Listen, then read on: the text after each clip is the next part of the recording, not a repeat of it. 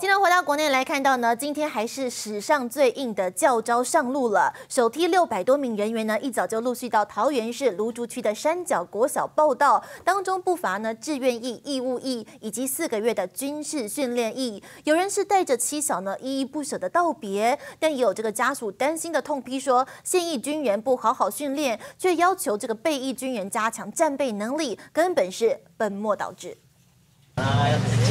啊！还要乖乖在家，好不好？一把抱起小宝贝，真的好舍不得。毕竟接下来有十四天是完全见不到面。我退伍以来，这次算第一次教招，因为我那时候是当志愿役。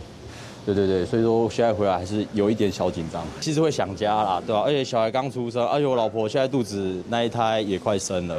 被称为史上最硬的新制教招呢，现在是改为一年一训，而且为期十四天。首批呢就是在桃园的山脚国小陆续报道。本次教育召集，贯彻就地动员、就地作战的原则，在本营的守备地境来展开，并且以保家、保乡、保产为目标，选员都是以户籍地。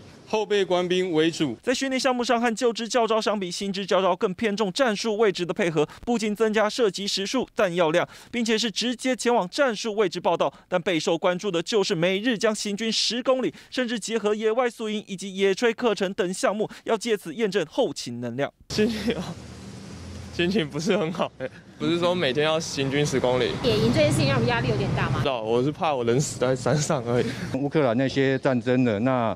如果真的战事发生了之后，总是要有人去上战场操作些武器嘛，所以我觉得，既然教招到我们了，那我们就回来这边做一个坚实的训练。现役的军人都不好好的训练，要求备役军人加上备役的那个战备训练的那个能力，会不会有点本末倒置呢？有担心的家属是不忍战备压力转嫁到了教招一男的身上，但也有退役多年的军官，眼看两岸情势瞬息万变，表示会全力配合国家政策。记者廖凯生、吕建云桃园采访报道。